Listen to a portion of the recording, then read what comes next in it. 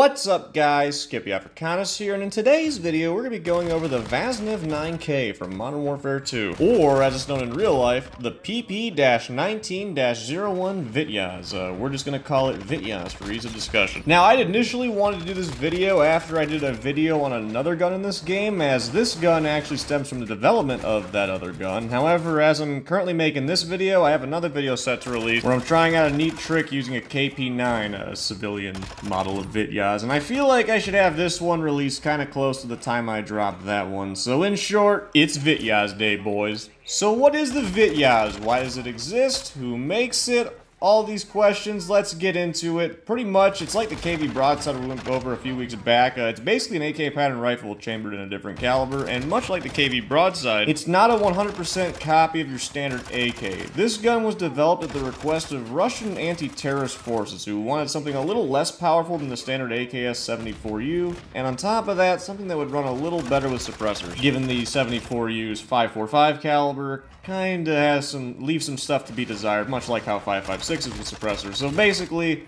they wanted a submachine gun. Now, as mentioned before, uh, this is not the first gun in line for this request. And the other one, in fact, uh, had a bunch of development put into it. Um, they were producing them in small batches and all that. The other one was pretty much good to go. The only downside was it still did suffer from reliability issues, which were mainly stemming from its magazine. It's really, really cool magazine. Uh, again, I don't want to really spoil what the gun I'm talking about is because that's for a future video, but just know it has a very, very cool magazine. Anyways, though, a few tweaks to that earlier platform, and really, I do mean a few, like, really not that many, um, landed us with the Vityaz, which, much like the earlier gun, it still used the AKS-74U receivers as well as most of the parts. However, given the gun was chambered for the 9x19 cartridge, uh, the previous one I keep mentioning was not, uh, it was a different cartridge, but both cartridges was the same thing, but given, again, pistol cartridges, they were able to simplify it a lot more, which I feel is best shown in the IRL cam, so uh, let's head over to the IRL cam, and uh, I'll show you what I mean. Alright, so we got the KP9 right here, the civilian-owned version of the Vityaz, and then we have the standard AK rifle. Now, one thing to keep in mind with this AK right here, this is just a standard 47, you know, 7.62 caliber. This is not an AK-74, nor is it the AK-74U, which this is actually, you know, based mostly off of. However, mechanically, this gun right here is going to run exactly the same as the AK-74, AK-74SU, practically all AKs available, minus this one. So on the way your standard AK works is your bullet will be fired, and as it's traveling through and out the barrel, gas and all that is following behind it, and it actually gets funneled into this gas tube up here. The gas is then going to push against the end of this piston, and right up here, this bolt head is in this position right here, and it's locked into recesses in the receiver. So this whole assembly up top will go back while this will stay in place. And as this thing's going back, that is rotating, and then once gas pressures are in a safer range, it is fully unlocked, the bolt can go back, come forward again, turn and lock into those recesses, and you're ready to fire again. And that's pretty much how all AKs work. You need to have a system in place that keeps chamber pressure low before the bolt actually starts to move back because if you simply had what we'll, discuss later as a straight blowback on a full-powered rifle cartridge, your bolt and basically whole gun in general would beat itself to death fairly quickly. However, the Vityaz is chambered in 9x19, which 9x19 doesn't isn't really as hard on the action as a full powered rifle cartridge like 545 by 39 762 by 39 stuff like that. Or at least on a lot of these larger guns. If you have a pistol you do need to have a locking system Sometimes there's actually some exceptions, but you usually have to have a locking system with 9x19. But in a big uh, platform like this, you don't really need it. And that's where we come into the main mechanical difference between the standard Vityaz and majority of the AK rifles. So on the Vityaz bolt, you'll notice that there is no rotating bolt head or anything.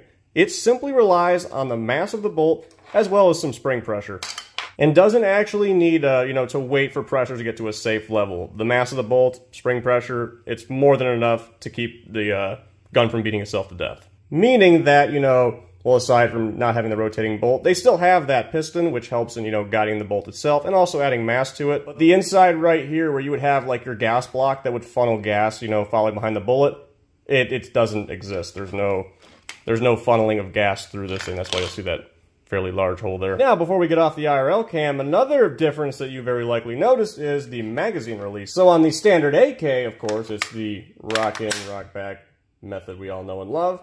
However, on the Vityaz, they decided to change it up a little bit, and instead they actually added an insert, which they kind of had to do because obviously the original wide magazine well wasn't going to accept a 9mm mag, but they added an insert, and rather than a rock back forward method, it's simply a push that lever in and pull it out method.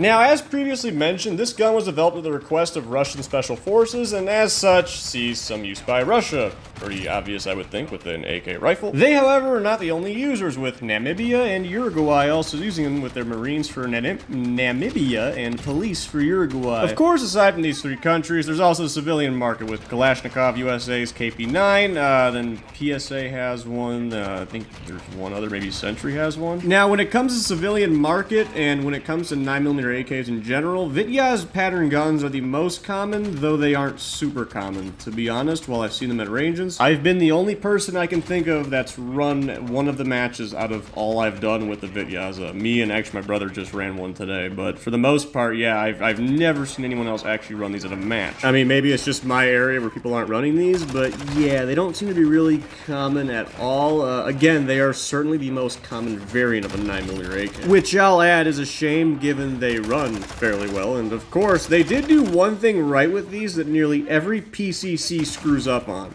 mag design. Loyal fans to both my YouTube and especially iFunny know that I have one massive pet peeve when it comes to PCCs, but I'm going to say it here anyways because I cannot stress enough how much it annoys me. And that pet peeve is that there is zero reason why any PCC in existence should be using single feed magazines. Absolutely none. And that's one of my big reasons for really liking the KP9s um, is their use of a double feed magazine. They actually decided to not use the single feed magazine like you know, they shouldn't for a PCC, which, again, it's very nice. Uh, there's no need for a mag loader. Everything just pops right in. As it should. And yeah, you know, it's just very nice that they actually uh, were smart with their mag selection. Like, this gun may not have the mag and the pistol grip like I feel PCC should, but to be fair, I'll give, you know, credit where it's due. It, the intent was to make a submachine gun that they could also produce fairly easily, and you don't want to redesign a whole new gun, so there's, you know, it, it's okay they didn't decide to put the mag in the right spot because they opted for the more cheap production route, which makes sense, the gun runs fine. So anyways, I think that is to do it for this short little video on the Vaznev 9K from Modern Warfare 2